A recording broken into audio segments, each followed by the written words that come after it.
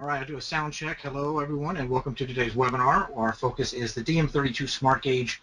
Uh, I kind of do an overview and uh, explain to people why this is such a, uh, a great uh, device. It's actually changing how a lot of people do testing, but we want to make sure that you're using it, if you are using it, uh, the best to your ability. So that's our goal is to kind of answer your questions and make sure there's some features in here that you're aware of. Uh, that's who you got with us today. So that is Jay West on the left. Uh, here's a new picture, which I haven't seen yet, so we'll update that next time we go this round. And um, this is uh, me on the right. So we welcome you. So we're uh, both independent trainers for Retrotec, and we help them with their webinars, training, a variety of other stuff. So uh, if you have any questions, you want to make sure things we cover, please uh, throw those out. And here's our clue to remind ourselves to record. So I am recording. I'm sure Jay's in the background. And this kicks in the, the meat and potatoes. So there are a few things we'd like to cover in ahead of time. And um, that helps make sure everybody's on the same page. You know, we get some information about what we're headed towards. So today we're going to cover the, some of the ports and connections. Uh, I will uh, focus on the firmware, which is something that I know that most people aren't really paying attention to. Uh, the, the interface, calculating the results, uh, some common errors, and um, running other manufacturer fans, which means energy conservatory, and uh, how to do the whole flow. So those are kind of some of the things we're going to touch base on today. I made this slide uh, a couple of years ago, actually, but I thought it was kind of pertinent to show the history of when some of these things came out. So uh, that's actually one of the early duct testers, and these are some actually early gauges, and these are monster-sized devices. Uh, they're probably close to uh, two feet by almost three feet, maybe two and a half feet, um, weighed a good uh, you know, anywhere from 20 to 40 pounds. And then things you see them start getting smaller, and you can see the goal of um, Retrotec and Colin Genge that is trying to put something that is the, the gauge and a keyboard together. Um, so you have a screen, you have the ability to enter information, and then he kind of got up to date with where a lot of devices are going, and they're way ahead of the curve with touchscreen and uh, built-in Wi-Fi and a lot of great uh, built-in calculations. Most of what we're going to talk about today is um, the what the gauge does by itself. So you may or may not have one that's Wi-Fi, and everything we'll talk about today will do that. So if you have one that's non-Wi-Fi, these are all the amazing things that it does today. So um, let's keep moving. So one the things I do try and make sure people understand if they're new to uh, uh, testing about the gauge and the smart gauge. So um, so there's a basic layout. There's a channel A and a channel B. Um, and this is actually a two-channel gauge. So there's actually two gauges in one. So if you really look at that in general, and if you split channel A and channel B, you can see that you actually have two gauges in one. So the red and blue uh, ports are for channel A, the yellow and green ports are channel B. Channel A always is giving you your um, your results, all right, and we'll kind of scroll through here. So my test pressure is always right. My my test pressure is always channel A. Channel B always gives me my results. So I probably messed that up. I'll repeat it again. So channel A is always giving my test pressure. It only really gives you in uh, uh, the pressure that you're actually uh, testing with or um, trying to establish a test pressure. Channel B is always what your results are. So it could be in a pressure, uh, it could be CFM, uh, it could be actually calculating ACH 50 or CFM per 100 square feet, or a variety of other metrics that may be European or uh, other standards. It does have digital sensors with a five-year calibration. Uh, this is kind of a new thing for the industry, and it does allow you to, uh, you know, make sure you're not worried about your gauge having to be calibrated, um, you know, every uh, one year, two years, and uh, we'll talk about field calibration versus manufacturer calibration in a second. It does have some great tapered connections. These actually, when you see these in, in, uh, in the real world and you start to use them, you realize why they're so valuable. And that is that they actually uh, connect the tube on all sides, from the inside of the tube and the outside of the tube, it doesn't actually mess up the tubes themselves. It doesn't cause little burrs or make them loose. Uh, and they actually stay very well connected or when they're on their, uh, their ports.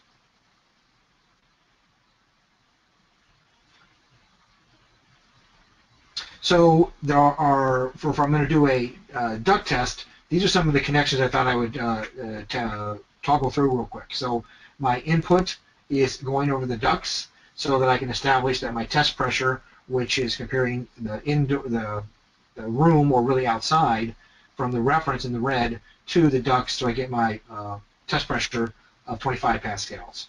And the other side is always going to go to the, the fan itself.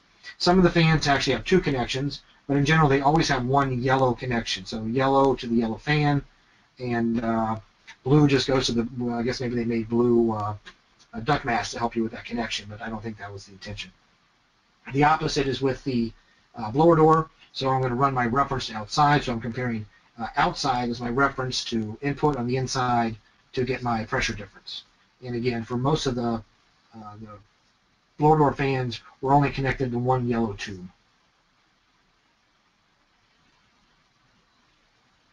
I will talk about some of the wired connections. This is actually a common question that comes up when we run these um, uh, uh webinars, and that is that um, the Ethernet is in, pretty much considered to be uh, almost unlimited with unlimited number of gauges for the most part for uh, in terms of reality, and um, you can go about 100 meters, 325 feet with one wire, um, or if you're going to use a powered hub or extenders, you can actually go you know as far as you need to.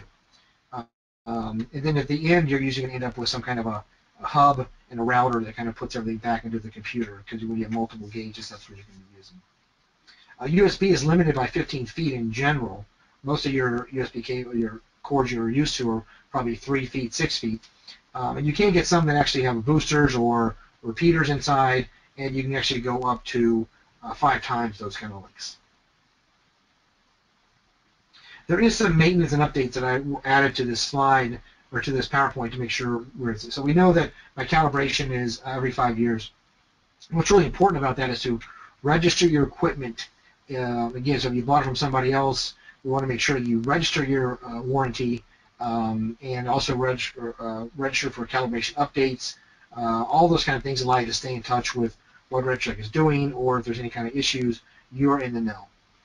Uh, we will talk about how to confirm your gauge is in calibration uh, to do a field check, and we'll definitely be touching on um, update firmware. So the one is you're going to keep track of your five-year span here, and the others, you're actually going to be kind of doing more regularly. So if you don't check your gauge at least once a month, you may find out that you're you have some uh, concern or issue with your gauge that you should have paid attention with.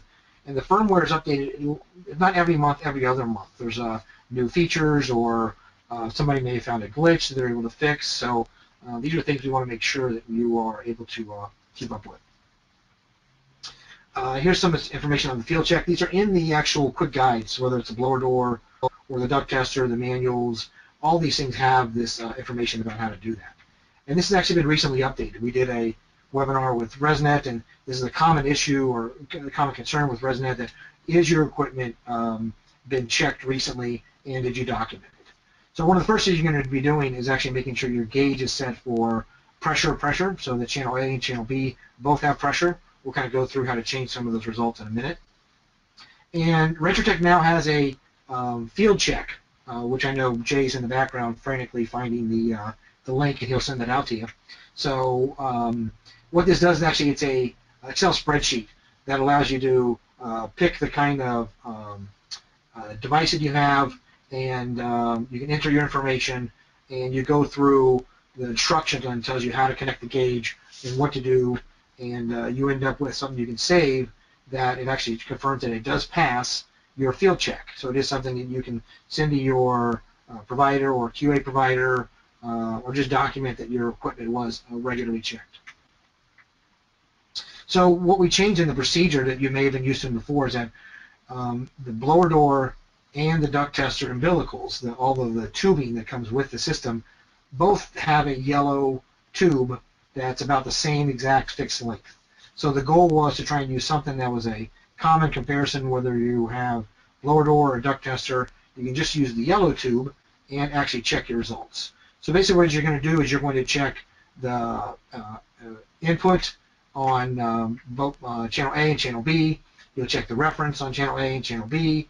And notice that the numbers are usually around this 200, maybe uh, 270, 260, somewhere in that range. And that pressure is created when those yellow tube is actually uh, put on those ports and, and, actually creates a small pressure. You're going to enter those numbers in that uh, sheet that I had a second ago, and it tells you if you're passing. Basically, what you're after is are these within, uh, in theory, um, 1% of each other and uh, the sheet actually calculates it for you automatically. Uh, if you're close but not at the 1%, uh, not the end of the world. It also confirms that you're checking your tubing. Um, so you do want to check your uh, whole tubing section, whether it's the blue or the green or the red or any other tubing you're using, but your numbers may be slightly different. Uh, the longer the tube, the smaller the pressure, the smaller the number. If you're just going to use a little short piece of tubing, you could end up with numbers that are 7, 8, 900 Pascal, um, but our goal was to find something that would be a good standard. Some of the things you want to do is while you're checking all your tubing is to make sure you don't have any uh, moisture or water in your tubing. Uh, these cause massive errors. So again, we really are focused on the gauge. We're also focused on the maintenance of what you're doing with your gauge and how to make sure you don't uh, have or avoid errors.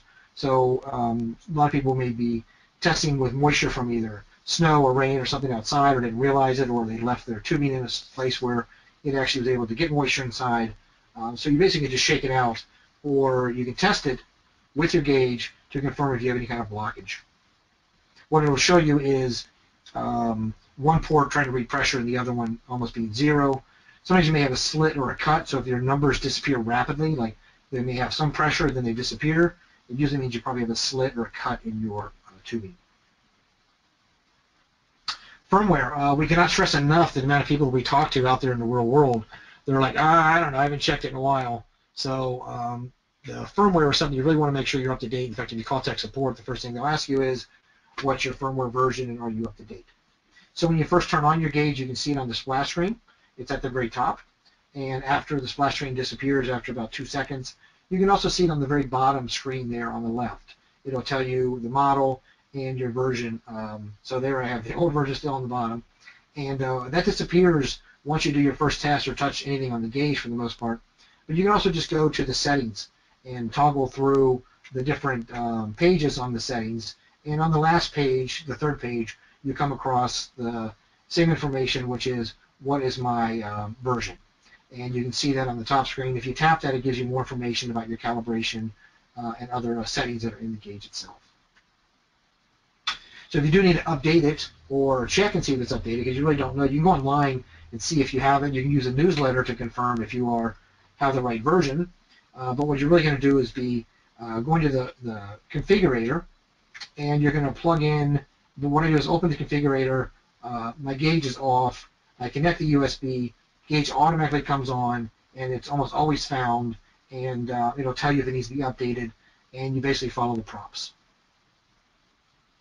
So the figure, configurator is under support, under software. Um, you can download it directly. And um, if you don't have that, you definitely want to make sure it's part of your uh, system on your PC. And again, you want to check it with the USB. It doesn't work with Ethernet. It's really a USB connection that you're looking for. So um, what I do is I do update, it downloads, um, it goes through scenario stuff. You want to make sure your gauge is charged. Uh, so it's like on red and maybe seeming to die. Your computer may not keep it charged enough. So you want to make sure that your gauge is charged well. You don't want it to die during this process. And your computers do not charge your gauge as much as it needs to be in order to uh, uh, to get a full charge. So a lot of computer devices only may have 1.2 uh, um, volts or partial volts, whatever it is that they use to charge your gauges. You may find that out with your phone that it doesn't actually provide enough to do that. So the other things that your the configurator does is it also helps you establish network settings. So if you are going to use a uh, network uh, with a Wi-Fi gauge, um, then you can actually uh, use the configurator to manage those settings and set that up.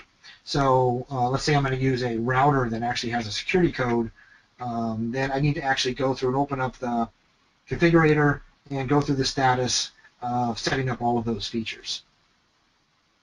You may also want to do something like uh, recalibrate the screen, uh, repair images. These are actually more of a tech, tech support. Uh, some people don't buy the gauge with Wi-Fi, but uh, uh, decide to change it later. And there's actually unlocked features for the gauge itself. So if you later in time want to go from non-Wi-Fi to Wi-Fi, you can actually just buy a code and uh, upgrade that. All right, I see there's any quick questions. Anything I need to address, uh, uh, Jay? Um, there was a question about uh, certification in Las Vegas in October. Um, it said that we made available a form that he filled out for ACH volume of house, etc. Is that form available on our site? Huh, I don't know. We'll have to follow up on that. Um, Noah asked, do we need the current firmware version for this webinar? No, but um, you definitely want to um, focus on the webinar. No, don't you don't want to like tune out. So as soon as the webinar's over, you can actually update your gauge uh, and do that. So uh, anything else? Uh, okay, so I can put it to uh, rest. Um, there is no Mac version. Mac is just it's not going to happen. So what is going to happen probably in the future is that more things will become mobile uh, situations. So I mean Mac in terms of PC. Um, a lot of things are headed towards um, you know, tablet or phone, and that's really where a lot of companies are headed. I can't make any prediction, but um, there will be a time when you don't need a PC in order to uh, update your gauge, but there's nothing in the in the sites immediately about that. So um, you there are ways you can get around that with the Mac, um, but you do need some kind of third-party software. Yeah, and Joe, just in case anybody out there is not clear about it, um, the reason why we're focusing on uh, updating your firmware is because it is it makes a big difference. Um, sometimes there are small updates. At this point, the most the most recent update is a very big update. So there's going to be a lot of changes, and that could cause uh, that could cause you some um, some some uh, difficulties in the field if you were trying to uh, run it with updated software or otherwise. So make sure that your version, your your software, that your firmware is up to date. Great, good point, Jay.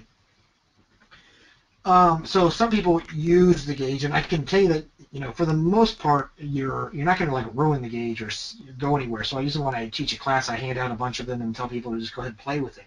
There is no reset button. There is no way to like, oh, let's go back to a starting point.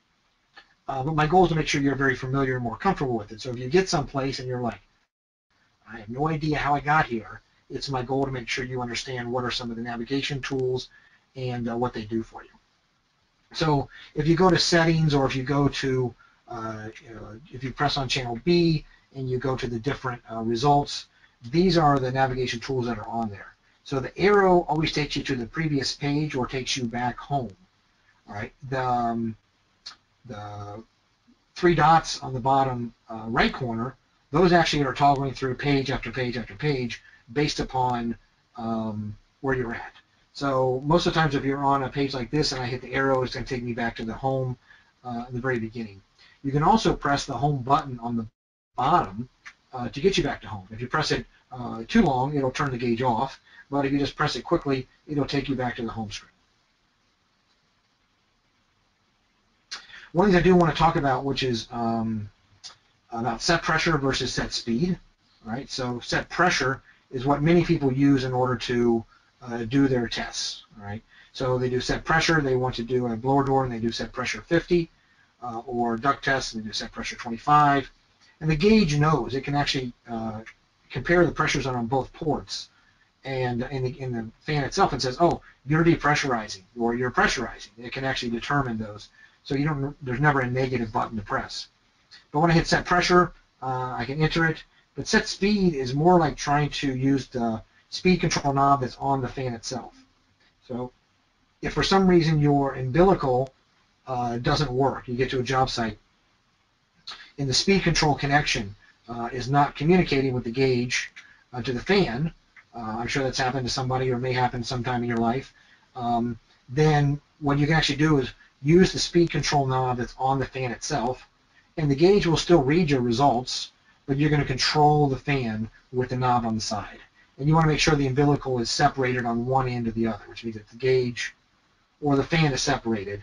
Because there is actually a connection. You can see the status light on the right side, green, saying that, oh, there is actually a connection between the umbilical and the fan, um, and that actually determines that. So uh, unplug one, and you can use the knob. Sometimes that can be very helpful if you're doing leakage outside or some other test methods. So, um, but set speed uh, is more of the process where I'm actually able to uh, dial in the gauge that I want. So when I do set speed, see my um, get the next slide to come up. So let's say I enter set speed uh, 44%. So it's just going to take the fan up to 44%, and then at the bottom you can see that I have these uh, jog up and jog down into 1%. Um, one of the reasons why set speed is a great feature is for people that do air sealing with blower doors.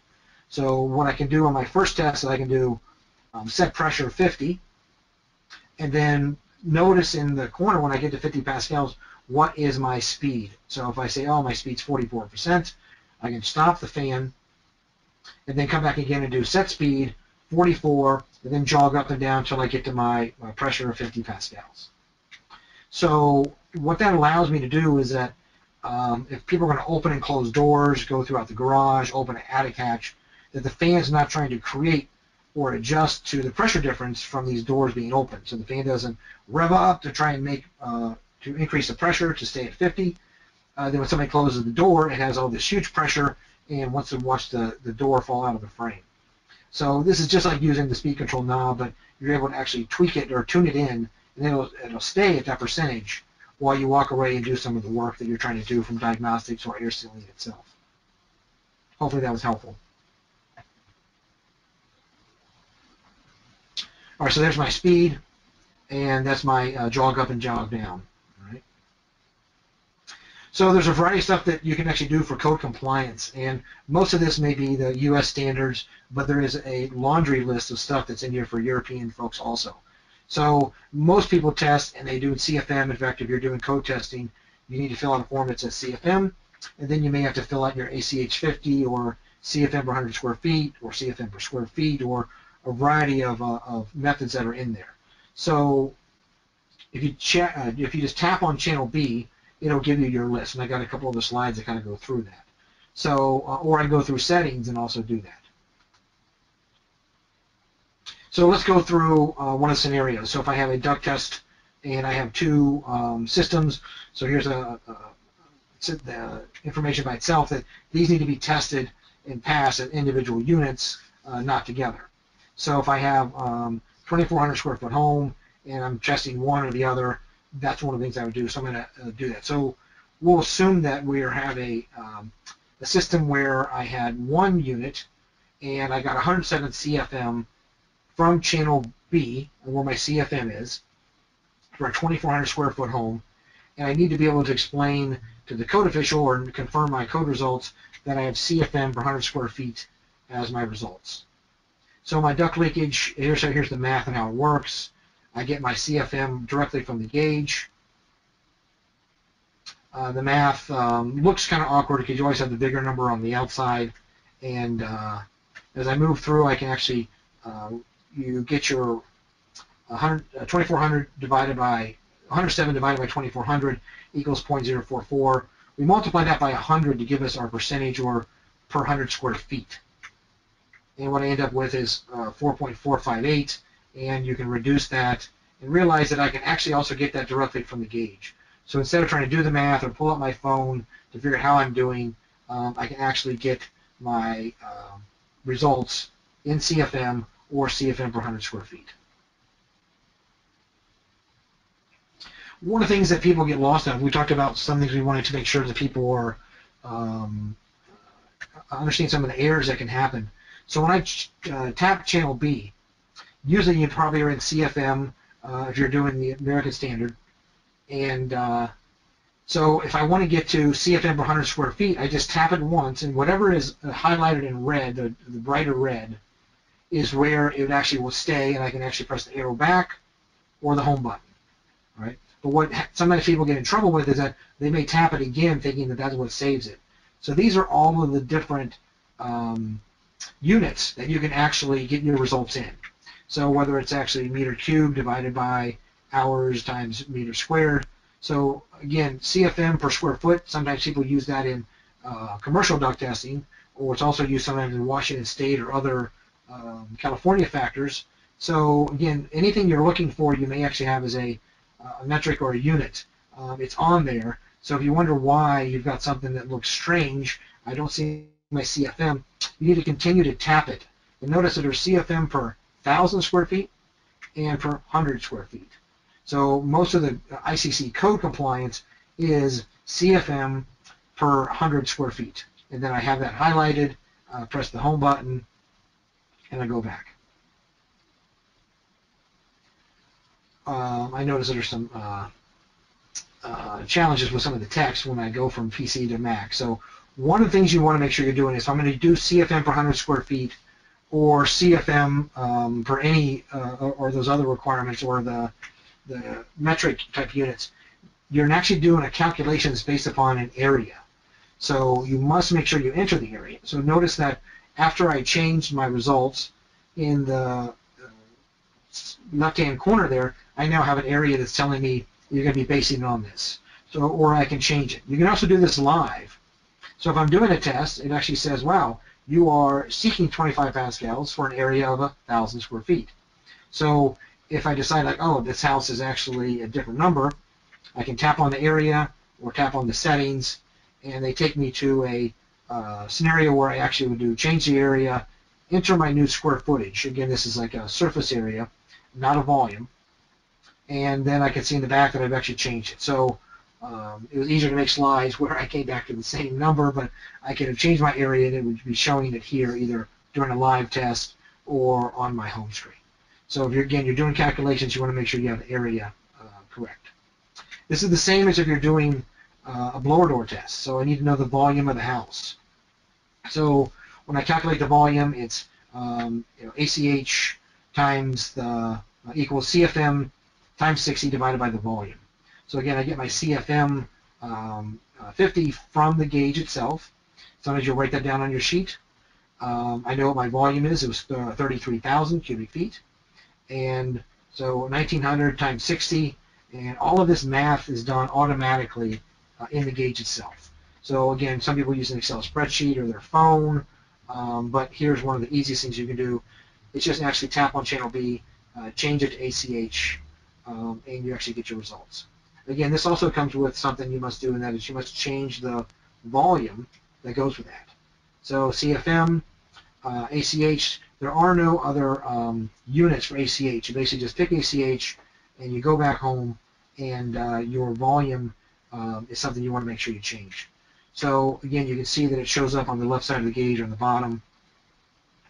Settings, same concept, but instead of area, notice you have area on the right side above volume.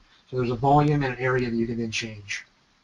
Set your volume, and now you can see that you're confirming that my air changes per hour is based upon the volume. You can do volume in metric or uh, imperial units. Um, I got one other feature I'll do. We'll check to see if there's any questions. Um,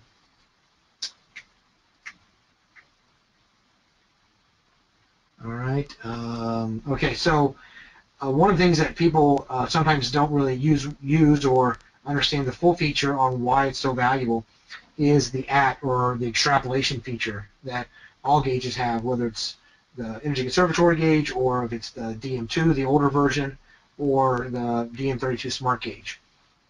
That let's say you're doing a uh, this very frequently happens on a blower door test where the numbers are kind of moving around or jogging or uh, vibrating. You're like, wow, I can't stay on 50. It keeps going to 45, 47, 52, even if I change my time average, it's still kind of fluctuating.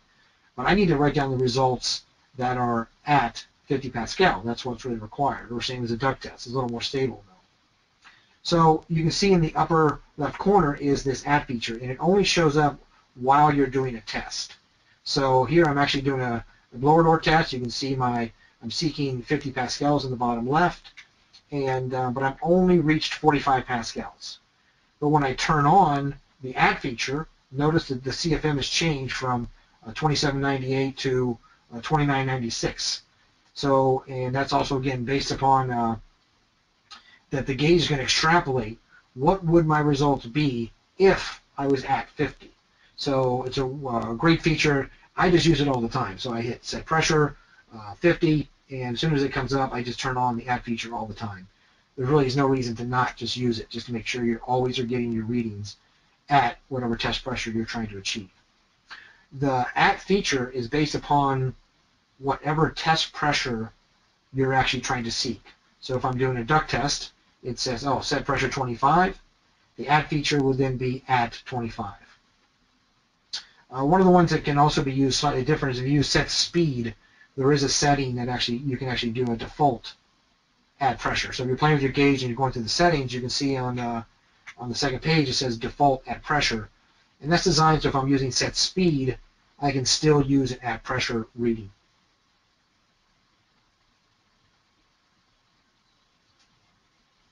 There we go.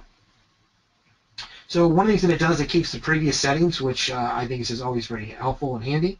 Um, uh, smart uh, setup, so that let's say if I, I used a blower door last time on range B, and I had it on CFM, turn on the gauge, that's how it comes up.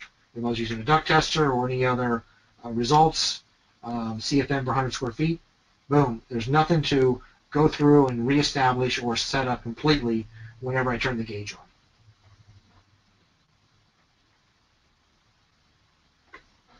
All right, keep moving.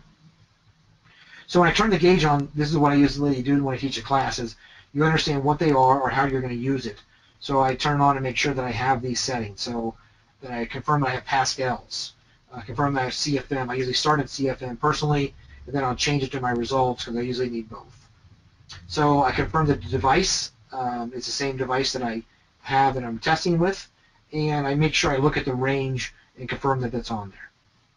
So uh, the range could be a ring or a plug depending on the device it is. So once I confirm I have these settings, uh, then I'm able to begin my testing. And it really is as simple as doing, you know, set pressure, follow the quick guide. The quick guide is very basic, but these are the routine that's there.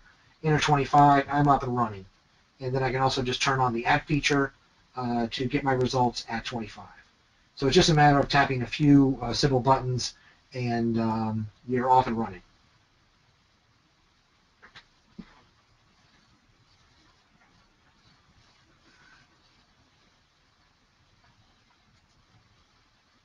Okay, so I got a few things that are on uh, baseline and some other stuff that are common uh, questions that actually occur, like how do you do baseline or how do I know where my baseline is? So um, the baseline is um, used for a blower door, obviously. Um, there are rare times you may need to use it for a duct tester if you have a very old leaky house, I mean leaky duct system. So the reality is if, I, if I'm setting up my gauge and I have a huge fluctuation on channel A, before I do my test, then I have an issue. Usually it's, maybe it's a connection, um, there's some kind of wind, there's some kind of air uh, moving in and out on channel A. So that's more, it's very common to have uh, when you do a blower door, that I have pressure differences from inside the house to outside the house. some options you can do if you have a high number fluctuating already is you can actually move that reference tube. The red reference tube uh, can be moved anywhere outside. Uh, Jay's got a method that he uses where he puts it in another container uh, some people bury it. Some people put in a tennis ball. As long as it has the ability to get atmospheric pressure and um, is not actually something that's closed off like a bottle that can actually create uh, a wind across it that actually creates pressures. You can take it all the way around to um, you know the wayward side where the wind is not blowing um, and uh, extend that to whatever you need to to make sure your baseline is a stable uh, reading. You don't need to just have it right outside the door, and you never want it in front of the fan. Okay, so here we go, baseline. So baseline, when I start, I hit settings, and the first thing at the top is the baseline. It says there's none taken. So I tap on the baseline, and I can either capture or clear, so I don't have one, so I'll capture the baseline. And it's running until I decide to end it. And it's telling you below how long I did it for. We highly recommend you do something for at least 10 seconds. If it's a windy day, uh, 30 seconds minimum. Um, if you really feel that this number is closer to, you know, two, three, four, five, then a minute uh, would be definitely much more appropriate, if not longer, uh, or realize you probably should move your tubing to accommodate the situation. So once I accept it, I hit in capture, then I can either clear it or um, uh, or keep it. So if I captured it, if I, I can also think, well, I didn't like that, I'll clear it out. I in captured, and it's telling you what my baseline is. So I have a positive 2.8 Pascal. I hit the home button, it takes me to the home, and you can see that my, under channel A, I have pressure uh, with a 2.8 baseline. So in fact, your, your gauge is probably reading 2.8 at that point. So one of the things that is uh, people forget about is that they may go from here to go do a duct test, and if you do not clear the baseline or turn the gauge off, um, then you still have a baseline. Or some people will just reset it. They're like, oh, something's not right. They'll turn the gauge off and turn it back on. You must reestablish your baseline. So the baseline is there until you either turn off the gauge or eliminate it under the baseline settings. So the DM32 also controls uh, Energy Conservatory fans.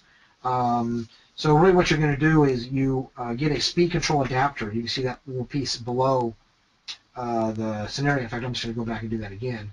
Um, so you have the, the, the DG700, and basically that no longer is used. In fact, you most people just trade it in to buy the DM32. So the DM32 comes with a speed control adapter. It's a little black box that sits on the bottom.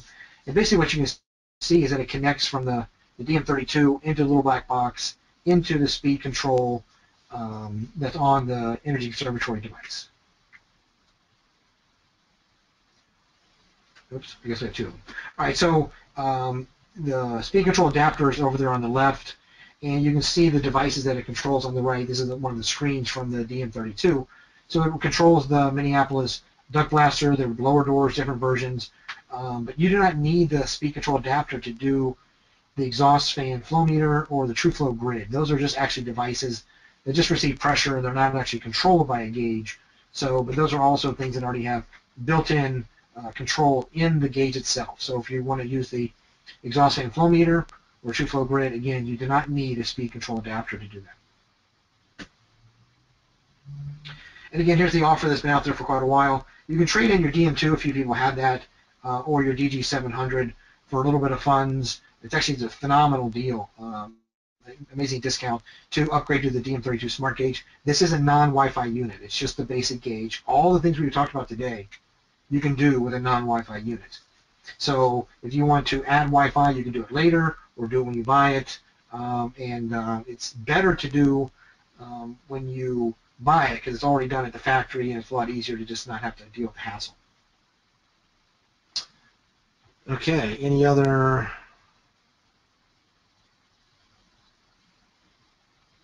So for those of you that may be updating your gauges or doing things like that and you have a problem, uh, support at retrotec.com. Again, support at retrotec.com. Um, Lee will is the guy who will be responding to your uh, emails or your phone calls, and uh, he's on top of this, so he can help you quickly with uh, what kind of issues you're having. Um, one of the things you want to make sure is that the gauge does not get separated or dies while you're trying to do the, the uh, firmware update. So confirming for Paul that the Wi-Fi is a separate uh, upgrade. You can do it when you buy your gauge or buy your equipment, like you can buy a duct tester or a blower door, and get the Wi-Fi included or you can update it at a later time. Uh, I made a couple of the slides to try and explain for folks who what the difference is between the DG700 or the Retrotec DM32. And there's a couple that are actually um, very fundamental on the how they actually connect channel B. You may find a variety of devices that are out there. Um, some people will use the um, exhaust fan flow meter and uh, they don't set it up they follow the instructions for the DG700 and apply that to the Retrotec, and it doesn't actually work. Um, and I'll explain why. Is that channel A works exactly the same on both gauges. But for the Retrotec system, um, they use the reference to connect to their fans. Remember, yellow goes to the yellow fan, right? So if you follow the same uh, setup as you would on the DG700, then you'll find that it's not going to work correctly on the, the DM32. So um, I got some illustrations to kind of show that. So if my input is uh, on uh, the DG700, my uh, I would probably be using the reference on the DM32. So when I was first learning this and uh, became an instructor, there's a lot of information out there about the DG700 with these kinds of illustrations, but this is the reality is that if you're going to apply these on channel B, you're probably going to be switching over from the input to the reference to get the proper readings for a variety of devices. So for the Energy Conservatory exhaust fan flow meter, this is the, uh, the actual connection that you'll be doing. You do not use the input as you would on the DG700. So, um, and you can see that I actually have settings that are on the gauge itself that show the exhaust fan flow meter and show the actual, what I would call is the range or the opening size, E1, E2, E3, and then I can actually get my results on channel B just like you would on the DG700. one of the things I usually recommend is actually to tap in on both channel A and channel B because there is actually a, a pressure requirement that you shouldn't exceed. You shouldn't really go below 1 or above 8. So you don't really know that if you're getting a false reading. So if you actually create a T and reference the, the use the reference port on channel B, yellow, and actually also still use the blue input on channel A, I can actually see what my pressure readings is and also get the result on channel B at the same time.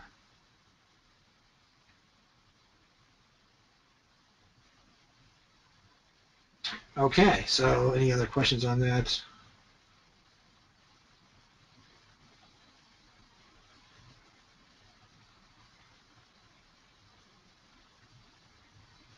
Uh, I'm trying to read Paul. You have a couple last questions there. I wasn't sure exactly what you were reading.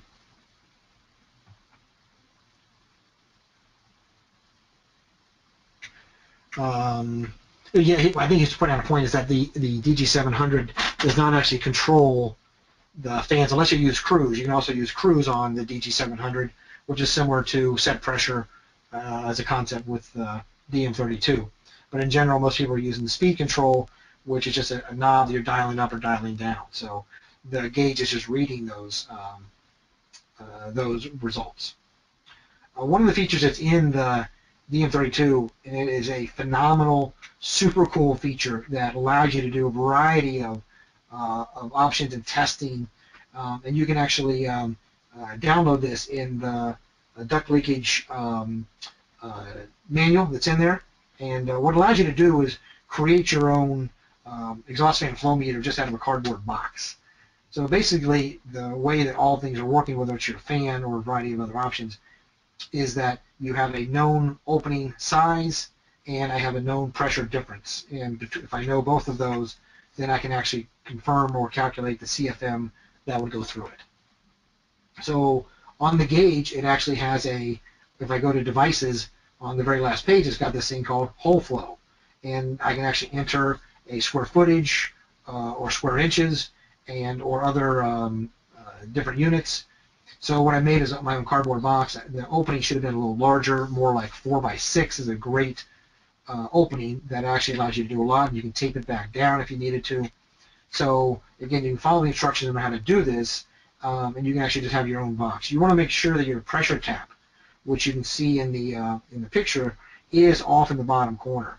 Uh, using a, uh, a, static pressure probe uh, is definitely recommended, but you can just put the tube in and make sure it's not in the middle of the flow. It should not be part of the, the static uh, or the, the pressure that moves through the box. It should just be a static pressure off in the corner.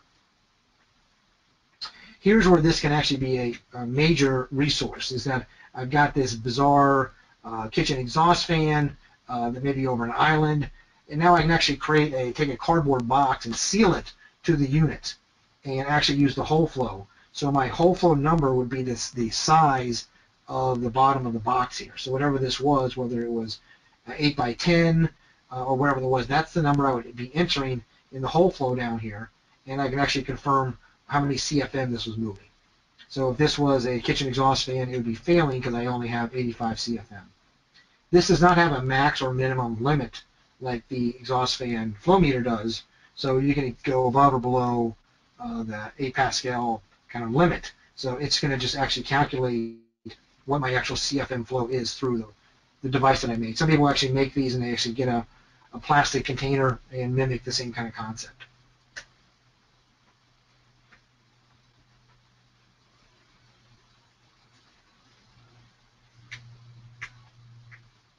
So uh, someone asked, is that a separate cost for the speed control adapter?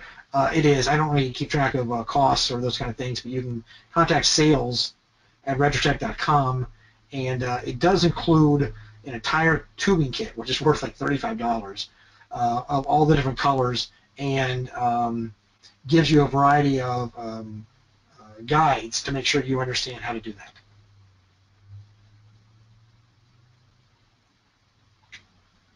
Um, someone says they have, they use uh, Corey Breed's vent caps, um, and the pressure uh, connection is on there uh, during the blower door test is placed in various registers to kind of use that as a whole flow test. So um, there's a lot of, when you really understand the pressures of the gauge and uh, reference versus input, there's a whole lot of things you actually can do and really fully understand. Um, I think this really only takes one slide because I want to just show you a few of the things on the gauge. So if you're going to do a pressure pan, again, it's diagnostics only, uh, you don't get CFM from that, then um, this is the pressure pan on the upper left corner, and I just connect that to the input. I don't read any part of the, the bottom of the, the gauge itself. So it doesn't matter what device I have, it doesn't matter what's reading on channel uh, B, so I only want to read what's on channel A, and that allows me to do the diagnostics from a variety of stuff, from where's the air barrier to um, are the ducts leaking, um, to what kind of leakage do I have on the envelope. Uh, all those are great ways to use a pressure pan test.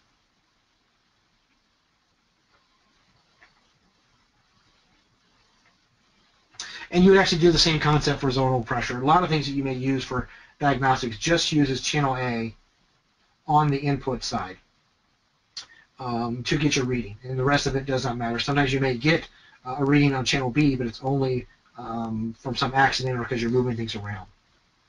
All right, I want to move to another level here and see what we have as a, uh, some options. Okay, so I made a, uh, a, couple of slides here that kind of review what we're after and, and, go through them on actually the. So what you're seeing here is um, a PowerPoint on the left, and on the right is actually Virtual Gauge, which is an app, but it's the easiest way for me to show you what's on the gauge that I have sitting right next to my computer. We used to do videos, and it just was really slow and cumbersome and hard to focus and became a nightmare. All right, so what I'm going to do is um, I can tap here on channel B, and notice earlier we talked about all the different settings that you have. So I'm going to go to CFM, and now notice that's the bright red one, and go back to the home button. And now my goal is to try and get this to match what we have on the left side. So there's some other things that are on here. So let's go through a few real quick. So I'm going to tap uh, here. Uh, all right, here we go. All right, so channel A, and this is also where the hold feature is. So if I go over here and I actually tap channel A, which some people think they can change my uh, test pressure from water column to Pascal to pounds per square foot, that, that actually is done um, through channel B. So if I tap here, it actually activated hold. So if I have a, a reading that I want to get and I want to hit hold, that's the easiest way to do that. Tap again to release the hold. On channel um, B, then I got my CFM. We talked about some of the results that are on there. So I want to do some other ones that I didn't really have a chance to do as a slide, but I can do much easier live. So I can actually change my results by tapping on channel B or in the settings. They both give me this option. So if I usually just tap here, um, and you saw that we did air changes per hour, we did CFM and CFM per 100 square feet. But this is also where I change my results from channel A to Pascals or channel B. So if I hit selected Pascals and I go back home, notice that I have Pascals on channel A and channel B. And this is how I would do my field uh, field check. So we talked about uh, connecting the yellow port from channel uh, from channel A to channel B, input and reference. This is how I'd actually set up the gauge to do that. Again, I tapped on channel B and I selected Pascals. So I'm going to leave this at Pascals and I can actually do CFM and that's how I can get back to where my original settings is to do most of my tests. So again, I got Pascals and I have CFM. So let's go through some other options. We did the CFM per 100 square feet, per 1,000 square feet, and the, the, other metrics. At the bottom here, I have EQLA um, uh, at 10 pascals and in square inches. And I can also do the similar things here where I can actually toggle that for CFM's uh, uh, uh, square, not CFM, uh, square feet, square inches, or um, centimeters squared, sorry. What it is is sometimes people want to do EQLA, which is trying to explain somebody maybe how big the opening is in their house or in their ductwork. The easiest one to use actually on the next page. Remember the three dots take me to the next page here's a whole other set of uh, different results that I can use.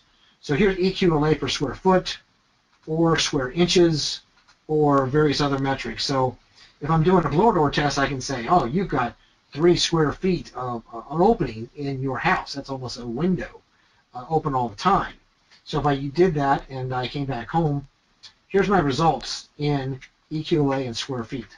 So I can do my test. So this is a duct test. I could be telling people how big of a hole uh, they may have in their duct system. And if you can't get a result, then I may have to go to square inches to convert that. Um, so again, I go back home. If I don't have a result, it may also be because my uh, size of my range or ring was not set correctly. Okay, so these are some of the different settings that are on here. And again, I toggle from the beginning page that I had to the second page. Some of these are uh, Canadian usage um, in terms of the, their results that they're always looking for. Um, uh, effective leakage for square inches or equivalent leakage. Um, I'm going to run out of time if I try to go into some of those other details. Okay, so I'm going to go back home. Let's go to a concept of what's under settings. So we talked about the baseline. We talked about the area that it's used for calculations for CFM per 100 square feet. We talked about the volume and that's used for air changes per hour. And the time average. So notice on my left screen on the PowerPoint, at the top, it's actually got uh, five seconds as their time average. So I can select here and do one second, five seconds, 10, or I can do a manual where I can actually say, oh, um, I want to do a, you know, a 60 second time average. And now when I do it, notice that if you're going to do a time average, you must wait at least two um, time factors of what that is. So when I first come back to the gauge, I will not get any reading for my first 60 seconds. And then the next 60 seconds may actually be including some of those uh, other readings. So sometimes you really want to wait two minutes before I would get my first set of readings. So let's put this back to uh, five seconds and it matches my image on the left. Um, and then notice here I also have the results to be displayed. It's the same page uh, that I got if I just pressed channel B. All right, under settings, there's also another page on settings. These are some of the things that are on here from network. Um, so if you do not have a uh, Wi-Fi, you either have uh, disabled um, Ethernet. Um, oh, great. Um, oh, great, I lost my gauge. Love it. This, this only happens when you're trying to do a webinar. Bummer. So one second.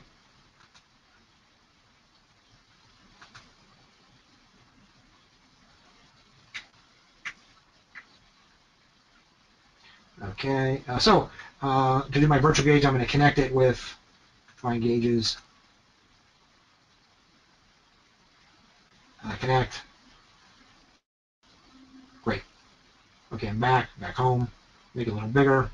Sorry for the, uh, always has to have some kind of glitch, otherwise it's not a successful webinar.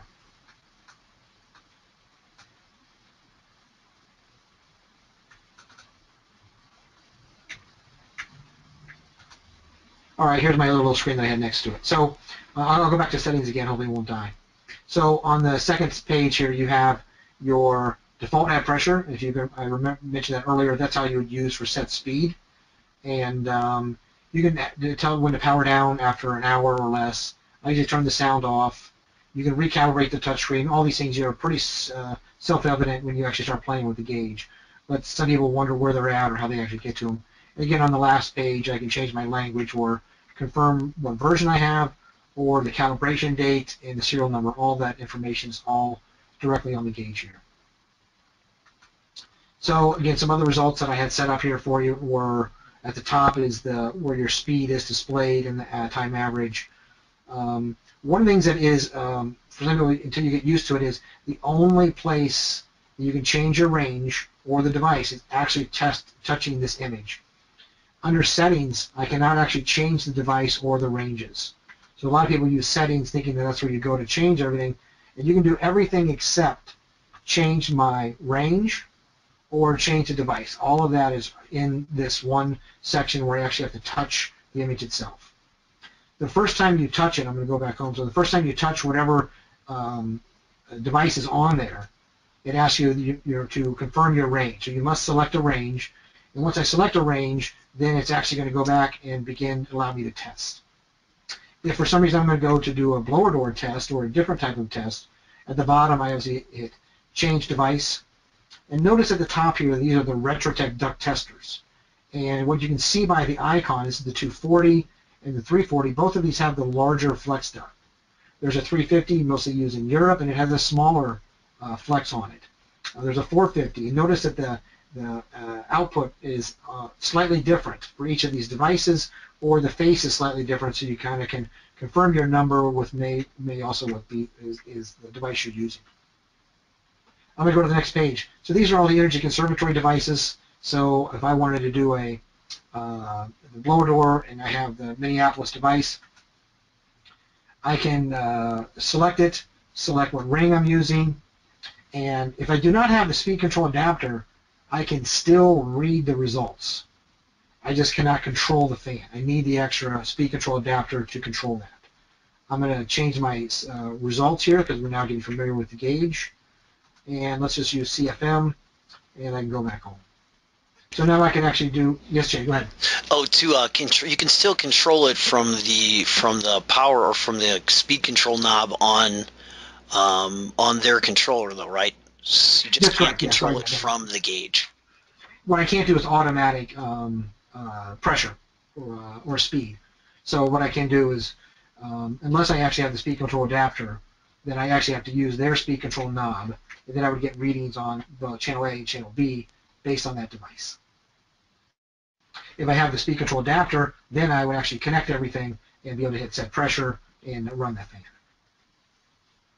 Uh, let's go through a couple others real quick. So if I change the device, um, again, these are exhaust fan flow meter. You can see I have the exact same types of openings that it has.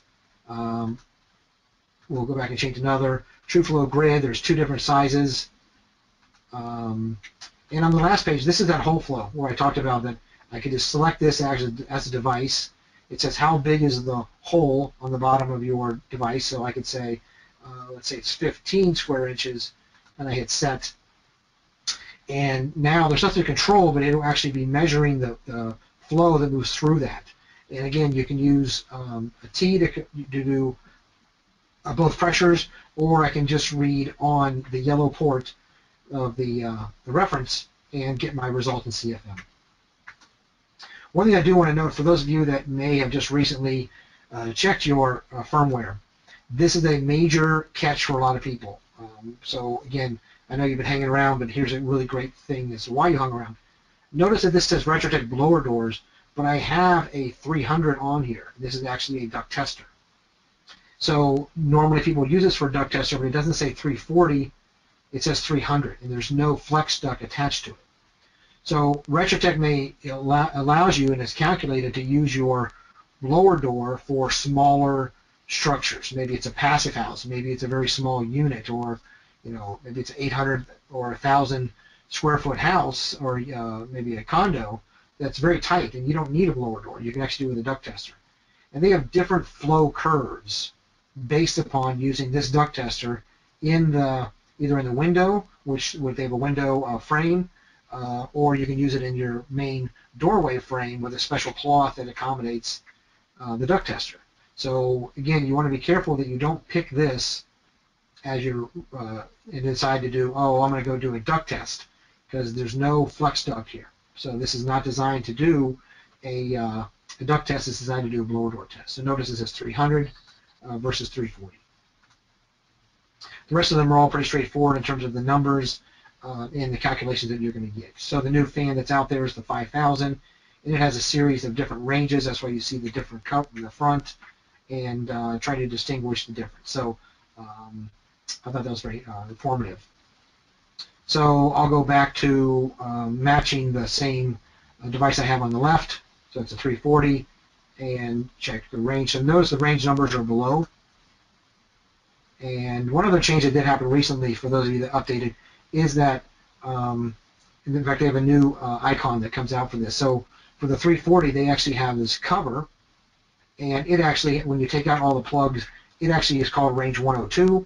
If I first put in the first plug of 74, um, then that actually is the, all right, picks 47, 74, there it is, okay. All right. Pick open, okay, great.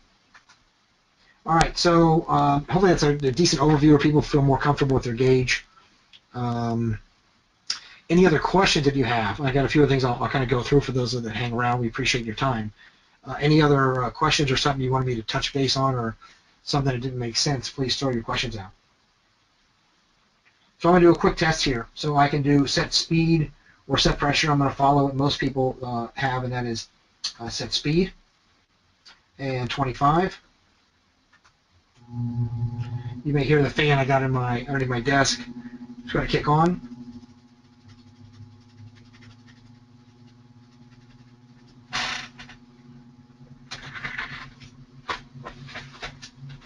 So I can now uh, ta uh, tap uh, different pascals in terms of I can go jog up or down, five pascals or five, um, or up five pascals.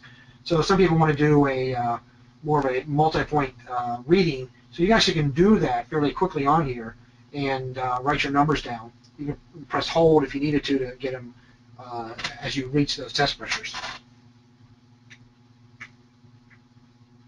So one of the things I can do while I'm here is while it's actually running, again, I can turn on the at feature so I get, um, make sure my readings are at 25. I can also change my readings live. I don't need to like turn it off or stop. I can actually go to CFM per 100 square feet, uh, go back home, and know that I have to change my uh, area. So let's say it's only a 1,200 square foot house. So I changed the area, and I did that under settings. So now I'm actually getting my test results of uh, call it 16 um, CFM per 100 square feet at 25 pascals. So hey Joe, I just want to sorry, just want to remind everybody that Joe is using a virtual gauge which is connected to an actual DM32 in the room, which is connected to an actual fan. So those are what you're seeing on your screen are actual readings. Those aren't that's not a simulation. So um, what we, we should try and do is actually have a gauge next to the desk with a video on top of it, and it just was a was a nightmare. It just was very problematic. So um, so again, here I can jog up, and you can see at the bottom here is now seeking value of 30 pascals, where I can jog down. And again, it's also telling me my, my area that I'm uh, extrapolating to with my um, results. And I can press stop. So hopefully, maybe there's always something that you maybe catch out of the webinar that you're like, oh, that could be handy, or I'm glad I caught that. So hopefully we had some of those moments today for you.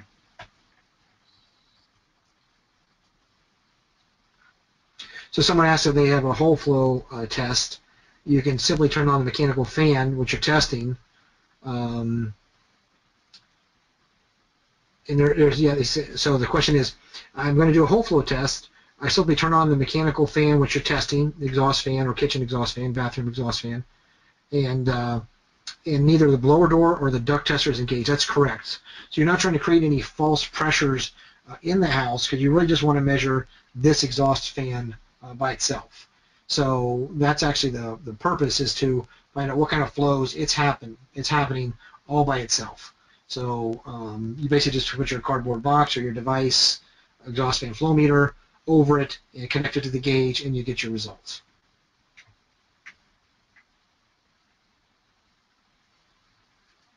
You can change the size, so I'll do that again. So if I just hit uh, um, set speed, um, 25, and you can set any speed you or any uh, uh, I'll do set pressure. Sorry, you can set any pressure I want. So if I um, for some reason need to test at a different pressure or do something different, so I do set pressure. I turn on my at feature. So let's say that I'm uh, I'm going to go back to CFM, which is a common way that most people start and then you decide like, oh, I need to do this in CFM per 100 square feet. And at the bottom it tells me my area is 1,200 square feet, and I can change that by just going to settings while it's running and change the area to, we'll make it 2,500. So I just changed the area that it's calculating to to 2,500 square feet, and you can see my results were cut in half basically. And you can do the same that for uh, blower door, uh, air changes per hour,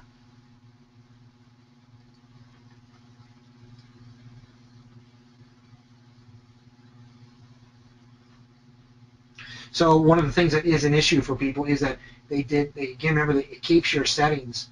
So it always keeps your area and your volume in there. So that's why you want to pay attention at the bottom, reminding you what it is. So if I hit stop, it shows up a lot clearer. So, oh, here's the area that you're testing to. So um, if I'm on this or if I'm going to use these kind of settings, some people do it when they're still on their home screen, so they're reminded to change that. So if I change the device to uh, blower door, so I'll say I have a 1000 and we'll say it's on range B and I'm going to use air changes per hour. Oops. Then I go back home. Sorry, made my mistake. So here I have a volume that I can change and be like, oh no, it's actually more like 18,050 cubic feet. So now I can see what my volume is for my blower door test. And I can easily set pressure, 5.0. If it gets loud, I'll lower the pressure down. So right now I have live air changes per hour based upon um, this cubic feet, and I'll turn on the at feature to make sure I'm getting my readings at 50. So uh, I use a, um, a duct tester to simulate the blower door, so it's not like it overshoots the pressure. So you see it came back pretty quick, but I'm trying to get my readings at 50, because right now I'm at 43, 44, it'll climb back up. But as this thing fluctuates around, which is very realistic in a real test, I'm able to confirm air changes per hour at 50, at uh, 50 pascals. So there you go. Now I can hold this. I can say, okay, hold. And I can write this number down.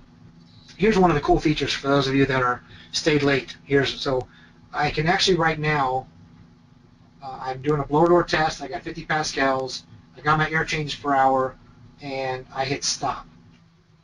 Notice if you can't hear it that the fan just stopped, but I still have my readings on hold. And I can actually go down here and change my readings back to CFM if I need to write those down and go back home. So I can continue to alter the, the readings that I have in the gauge until I release the hold feature. So again, I can say, oh, uh, what was my air changes per hour? And it calculates those. So but once I release the hold feature, then everything will get, uh, all the pressures will get wiped out, as including the readings. So that's a nice little feature for those of you that want to get your test up and uh, um, get rid of the noise of the background, hit hold, and get your readings and write them down.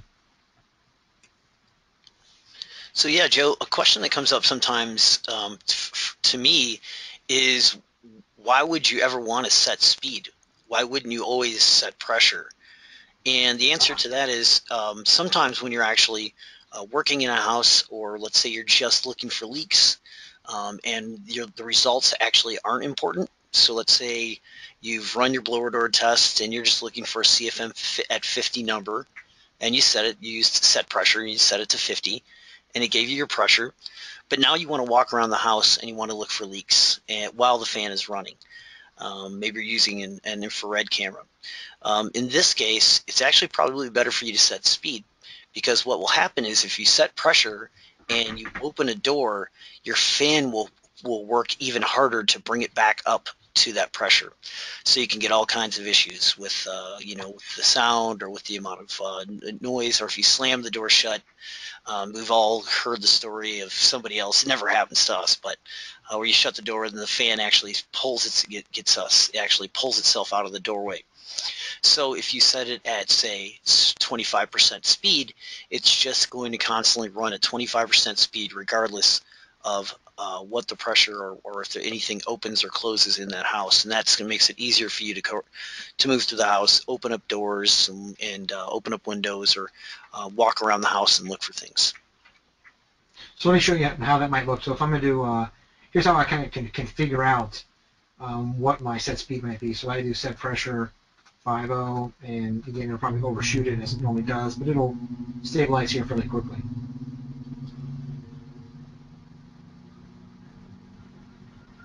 So notice my set speed up here is what I'm trying to pay attention to. That once I've gotten to 50, and again, when you set pressure, it's going to go to 50 and wants to stay there. So if it overshoots it, it says, ah, I'll slow down, I'll get to it, or maybe whatever kind of speeding up I need to do, I'll get there. But the goal is is that um, it wants to get to 50, so it overshot, it undershot, it's coming back up, it's nice and slow. So my goal is to get around 22%, somewhere in that range, 21%. Okay, and I can tweak it back in. So we're going to say stop. And now when I do set speed, what's going to happen is that it's going to just take the fan motor and get it to that speed, and I can also get uh, similar results. So we'll wait for that to uh, zero out. So if I hit set speed here, set speed, all right, and we'll just call it 20. So I'm going to do 20% of the motor's capacity. So 100% is super full-blown. The motor's going as fast as it can possibly go. Uh, you usually need around at least 3 to 5% to kind of get any kind of reading out of the fan anyway.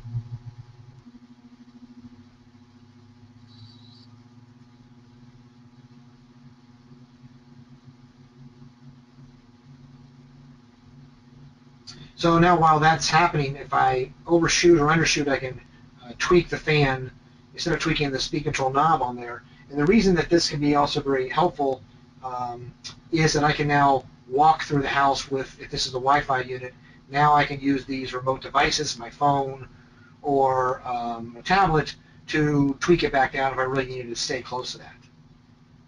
Okay, so I can uh, increase slightly up. So notice I went from 20 to 21. And you got to give it a few minutes to really kind of uh, uh, find its balance. All right, maybe we'll go 22. So my at feature is off, and again, we're using set pressure, but I can use the at feature. I'm going to take this back to CFM, so we're on a common page here. So if I use CFM, my at feature is based upon whatever my settings are here. Remember we kept talking about this default at pressure? So my default at pressure, I can change it to whatever number I want, but usually it's 25 or 50, but you can make it anything. So this default at pressure is what I'm using right now. So I'm doing a blower door. If I was doing a duct tester with the same method of set speed, then I would actually go back and change that to 25 um, so I could actually get um, my results at 50, even though my toggling up and down was only getting me to around 49 or just under 50.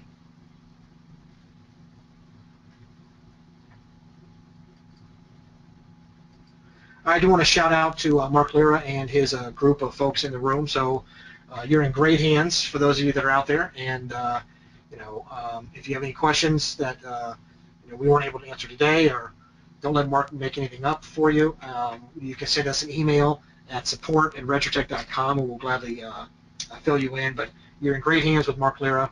Many of the folks out there have been very uh, participatory today.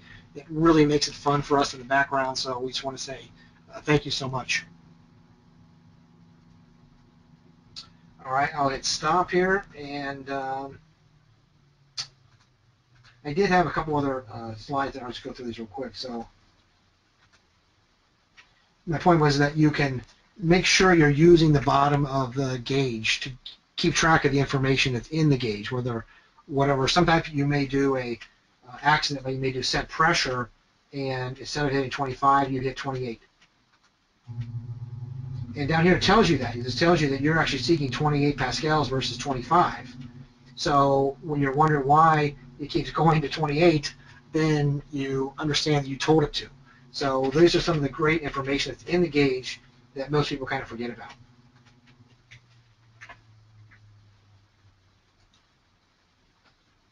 Uh, there's only one, even though we go longer for BPI credits, for those of you that are asking.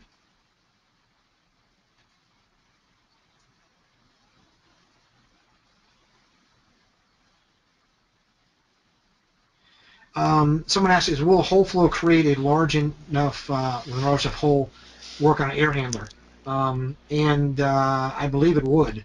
It's really designed on how much uh, pressure is going through there. I'd be very careful about where you set your probe. Uh, great, great uh, audience today. We really thank you. I will be back day after tomorrow on how to use um, uh, FanTestic, which is automatic software uh, for Retrotec, whether you're going to use one fan, two fans, seven fans, or 25 fans, it's the same concept. So many of you that are doing 2015 testing, you'll need to pay attention to some of the different options that are out there for automatic testing. Uh, so someone asked about the uh, advantage to set average at 5 second rather than 1 second. Um, you would always want a quicker measurement for door testing. Um, there, Retrotec, I didn't bring it in this slide today, I think it would fit, but they do a running average, which means that um, as soon as your first um, uh, setting is on there, whether it's five seconds, you get no reading, and after that, you get a constant reading. So it looks as though it's actually live, but it's giving you the last five seconds or 10 seconds as a running average. So I would encourage you to just use 10 seconds for all of your tests all of the time uh, because that's one of your most stable readings you can get. If not, five seconds would do well. I would not use one second, especially for a blower door, because it causes too many things to kind of flux around. You really want to get an average of something that's the most recent uh, test pressures that are running through the fan and the gauge.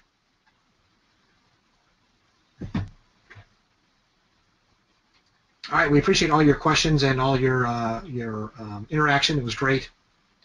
Um, so there was one last question which I, I have to take. So it, it is: Is there any advantage to using a positive rather than negative pressure for duct testing? Um, very little. The only time that it, you there is an advantage is because you have to do it. Otherwise, it is always your best practice to do um, negative or depressurization tests for duct testing. It's a common question we get. Um, all of your duct mass or duct seal gets pulled tightly. You actually know what your number should be. You're actually trying to get the smallest number you can to pass, and that's the best way to do it. So uh, positive things can cause things to leak or move move out. Um, and so if you have to do positive, you should still start with a negative, just so you know um, that you have this number. Like, oh, my smallest number is this. And then if you do a positive test and it gets any larger, like significantly, you just actually opened up one of your registers from your duct mask. Um, Joseph has the same question. Is it better to do pre uh, pressurization or depressurization for blower door? Um, the reality is it depends on the circumstances. If it's a newer house, everybody just depressurizes just because it um, has less of an impact on the interior of the house. Uh, but if you have an older house that has some kind of conditions, uh, you may want to consider that. But in general, it's just more common to do a, uh, a depressurization test for blower door.